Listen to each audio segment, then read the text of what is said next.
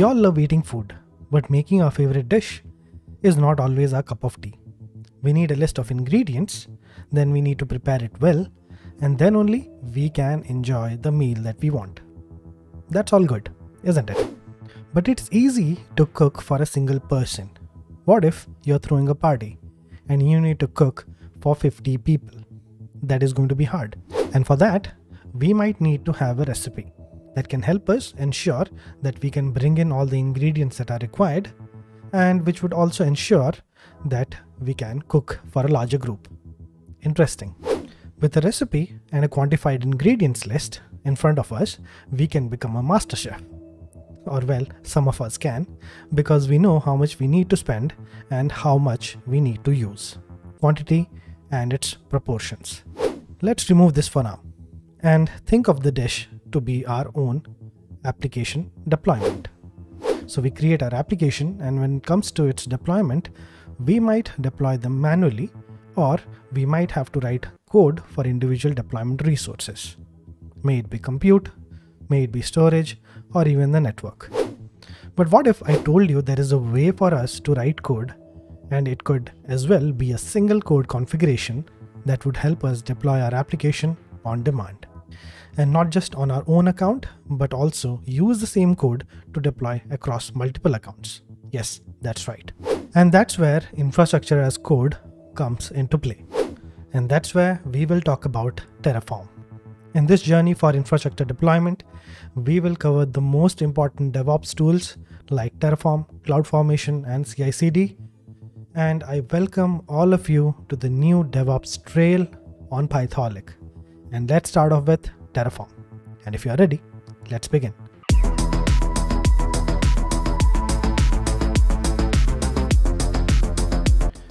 When you think of IAC or infrastructure as code, you need to remember this very important thing.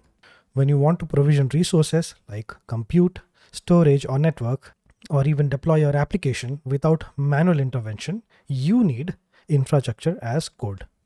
Yes, that is why it's mentioned here that IAC is the process of managing and provisioning infrastructure through code instead of doing it through the manual processes. As a developer, you want to focus all your strength on improving the application. As an architect, you need to ensure the application you're going to deliver meets the standards of quality, availability, resilience, and optimization. And as a DevOps engineer or a cloud engineer, you need to ensure the delivery and deployment of the application are as smooth and simple as possible, considering the design that you have for your product or application might go through a change, or it could have additional requirements. In IAC or infrastructure as code, the configuration files are created that contain your infrastructure specifications, like what instance type you're going to use, how much memory would you need, what type of scaling does it have? How access is provided to the application? Attaching load balancing. And you would ask me then, what is the importance of configuration management tools? Are they same as IAC? And that's a very good point. And yes, we make use of IAC and configuration management tools in tandem, but uh, they have their own specific purposes. But I would like to list some of the important IAC and configuration management tools like Puppet, Chef, and Ansible, which are configuration management tools and Terraform, CloudFormation, which are your IAC tools. Uh, you might be using other tools as well, which you can list out in the comment section as well that you might be using right now. When it comes to IAC, you being the developer or DevOps engineer or cloud engineer, you might write the infrastructure code as per the architecture design of your application.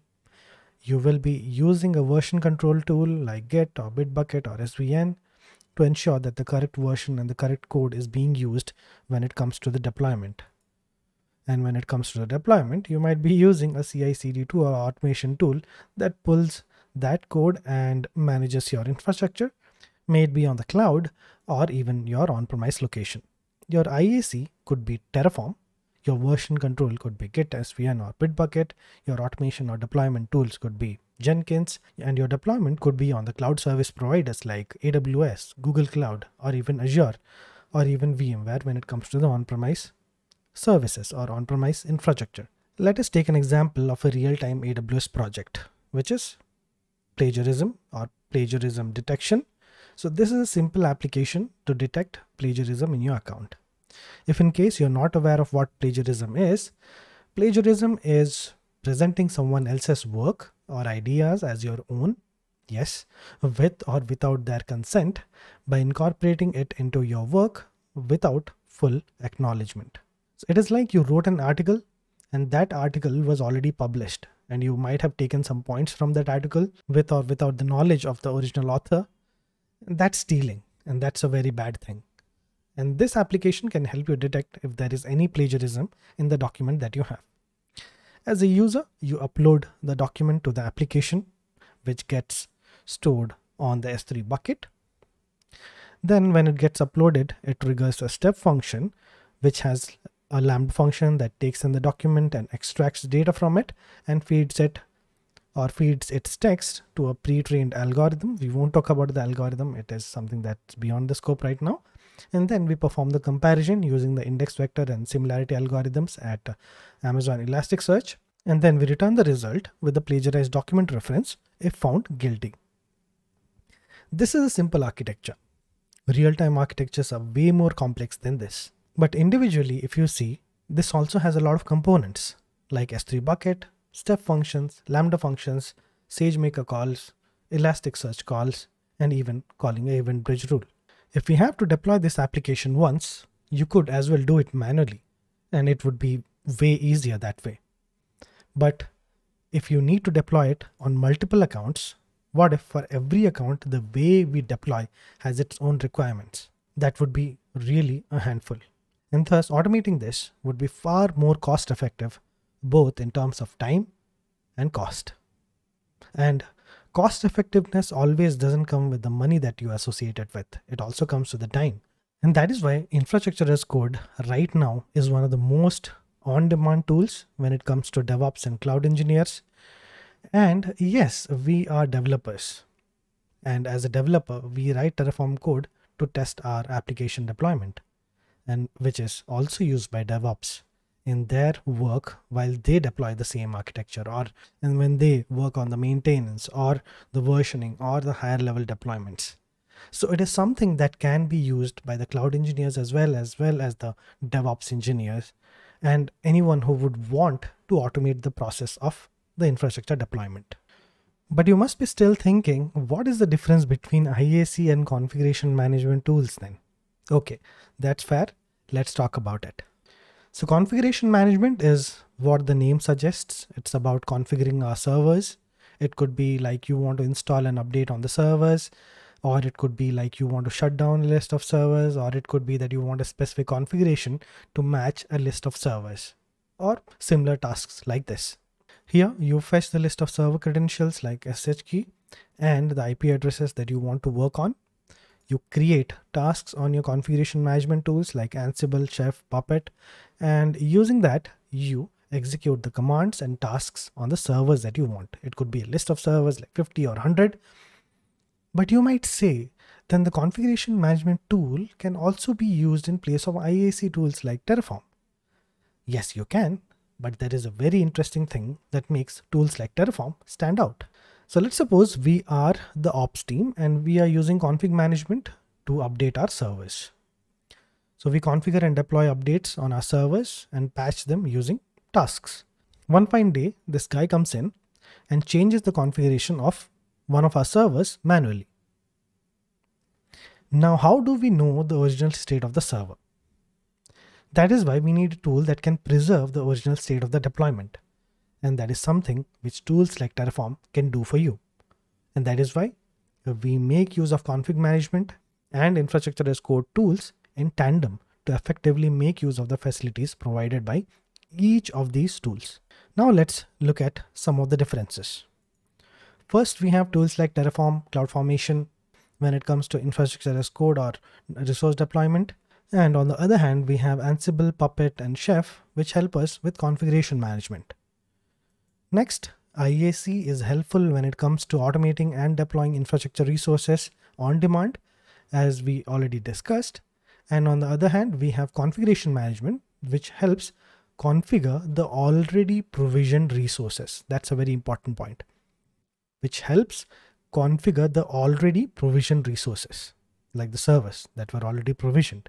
Next, we have IAC, which helps us provision infrastructure resources such as compute, network, storage, etc. And on the other hand, we have config management that helps configure applications with the servers provisioned by IAC. Yes, configuration management helps configure applications with the server provisioned by IAC. But the most important thing is that both follow the principle of idempotency. And I'm not sure like how we can pronounce it well, like idempotency or idempotency or idempotency. and you might ask me, what is idempotency? So let's talk about that. If you don't know what idempotency is, in simple words, idempotency is a property of some operation such that no matter how many times you execute them, you achieve the same result. Quite confusing or not? So let's suppose you write a REST API to get, or let's suppose you write a REST API for get to retrieve a dataset from the application. Would the result change if you keep on executing the same operation or same get operation? No, of course, it would not. It won't because it is idempotent. Your execution doesn't affect the result. The result might change due to an external factor like a post operation done on that particular query, but the get operation doesn't change the end result. It means that whenever you execute the get operation, it won't affect the result that you want. So no matter how many times you run the code, if the infrastructure or configuration is already present, it won't make any change. Let's take an example here, or let's see this example here.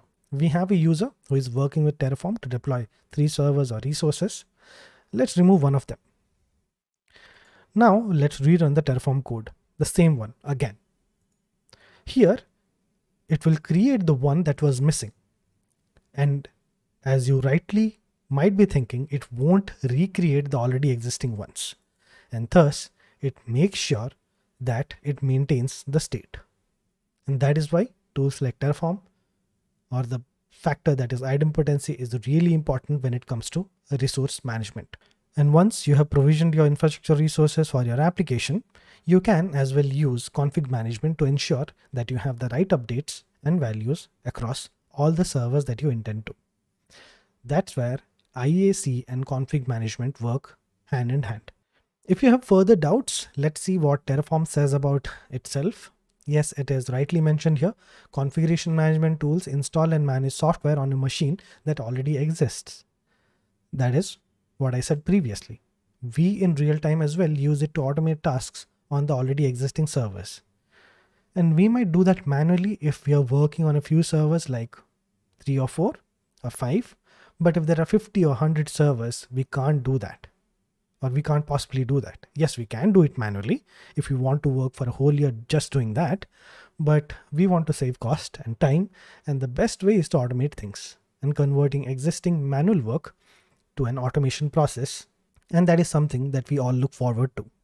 And if you read the Terraform documentation, it rightfully says that Terraform is not a configuration management tool and it allows existing tooling to focus on its strengths like bootstrapping and initializing resources.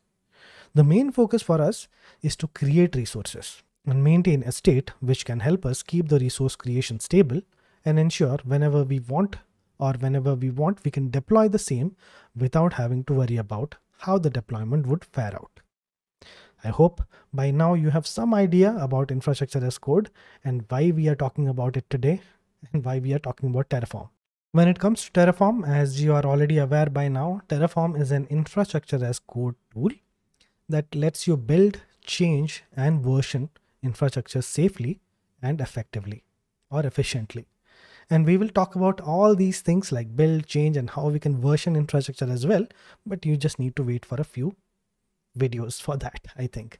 So you write the code for your required deployment or create templates to create Terraform code and you actually deploy them using the Terraform CLI or even use Terraform Cloud to orchestrate the whole or the total environment that you wish to run your application with. And that's all about Terraform. And that's what makes Terraform simple as it is. And as a developer or DevOps engineer, it becomes easier in a way to understand the requirement as per our architecture and then plan it and then apply the code to create the resources on cloud. When it comes to cloud resources provisioning, you would feel how would Terraform know which environment I'm working and which cloud hosting I'm working with? And that's a totally valid question to ask. And for that, Terraform provides with integration with cloud service providers and on-premise hosting services such as AWS, Azure, Google Cloud, and orchestration tools such as Kubernetes. And that on Terraform is also called as providers, which are a logical abstraction of an upstream API. They are also responsible for understanding API interactions and exposing resources. So let's suppose you want to create an EC2 instance or CloudWatch alarm. In that case, Terraform needs a way to understand what type of resource that you want to create and on which cloud platform you are going to do that. And for each specific resource, Terraform provider provides you with modules and resources that can help you create resources that you want. And we will discuss about providers in detail in the videos coming up. But I just wanted to make sure that you know what you're getting into. And the blue tick that you're seeing right now on the AWS, Azure, Google Cloud Platform, and Kubernetes, they are indicating that they are official providers for Terraform and the green ticks are the partner providers which are Alibaba Cloud and Oracle Cloud Infrastructure. And there are thousands other community providers as well which make Terraform stand out among the crowd. And I have also given the link for the providers. You also can go and check them out. That is https registry.terraform.io browse slash providers. You can go there and you can check the whole list of providers that Terraform has. So remember one thing very clearly. When it comes to using Terraform, you need to write the infrastructure code that has the resource modules and entities, plan them, target them, and apply them in order for those resources to be created on the platform that you're working on. So remember this plan, target, so target is something that you may or may not be using always, but plan, target, and apply. These three steps are core steps in deploying resources when it comes to Terraform.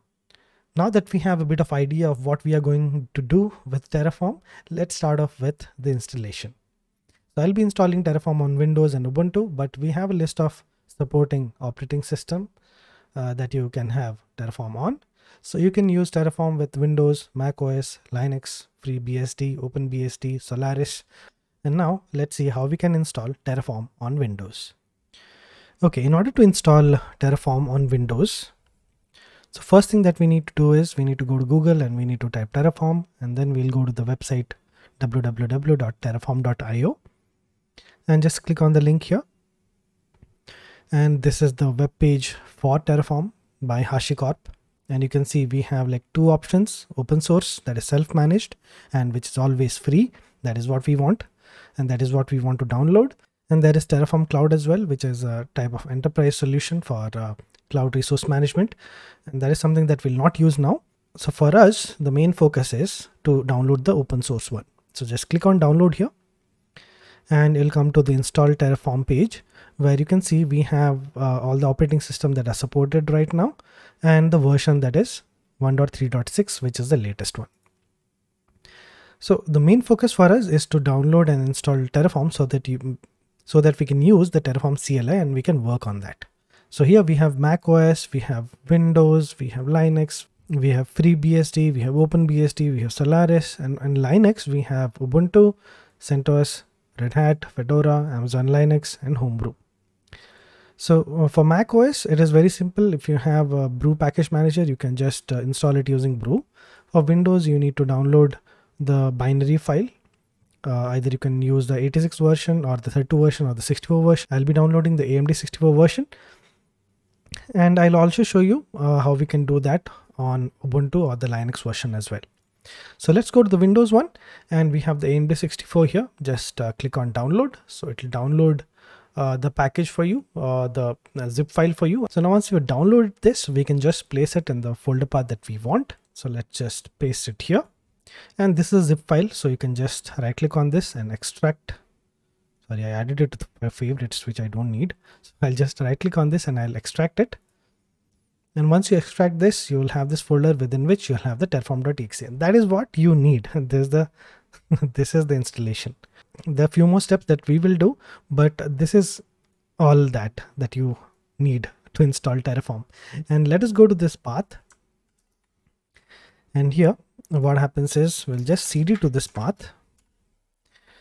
And uh, we will just list out the files that we have. So we have the terraform.exe binary. So in order to just use it you can just type terraform being in that path for that exe file. So you will get all the options. So that's it. You have installed terraform right now.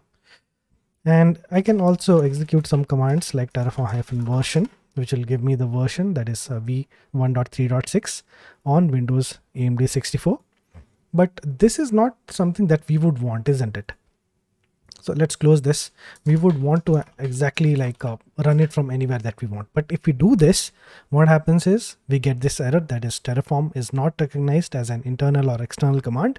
So now the current path is not able to find the exe file. So we have to make sure or we have to ensure that it is able to. So how it will be able to? So we have to add this path in the system variables or the environment variables. So close this. So go to start and here just type environment.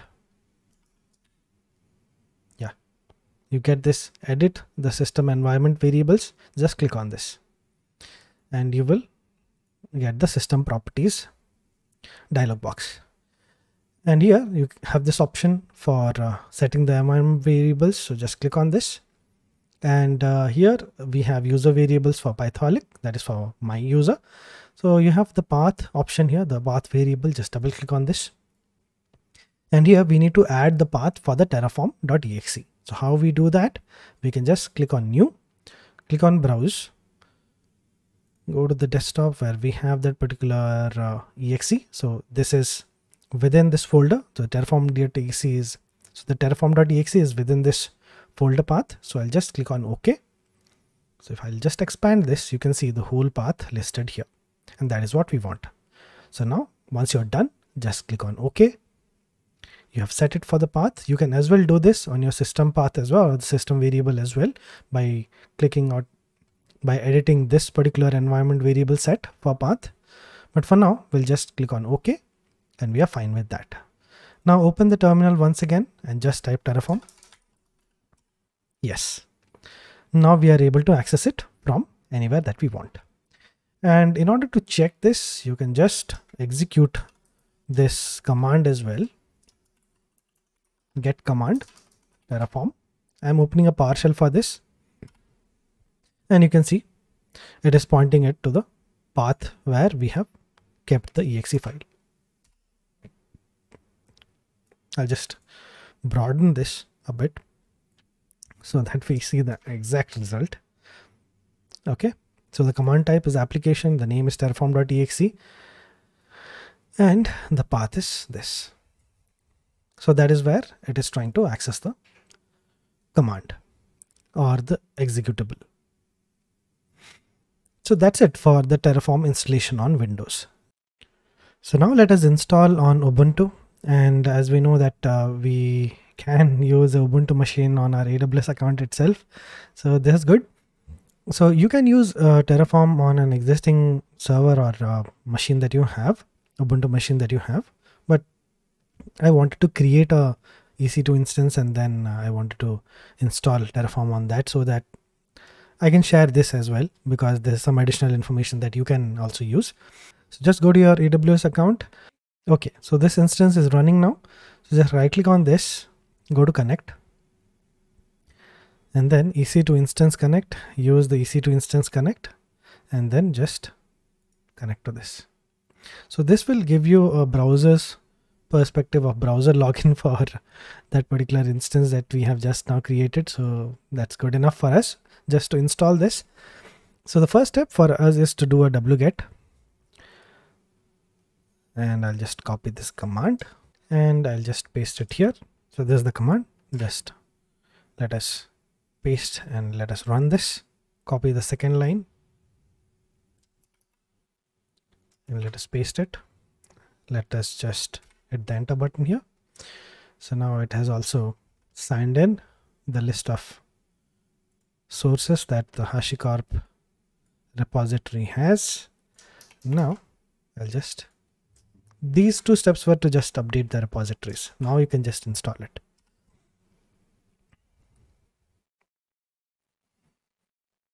Yeah, that's it. Now just type Terraform. Yes, it is working. Terraform hyphen version. Okay, Terraform v136 on Linux AMD 64. So now as you can see, we have installed Terraform on Windows and Ubuntu. Thanks everyone for having the patience and watching this video. And if you did like it, then please do hit the subscribe button on the channel. And please do make sure that you like the video if you did like it. And if you want to watch more videos on this channel, then please make sure that you subscribe. And also very important thing, please do hit the bell notification icon so that whenever I upload a new video, you get notified about that. And if you enjoyed this video, then I'm sure that you'll be enjoying the videos that are here. You can go and watch them as well. So I'll meet you in the next one. Until then, it's Sam from Pythoholic signing off. Cheers.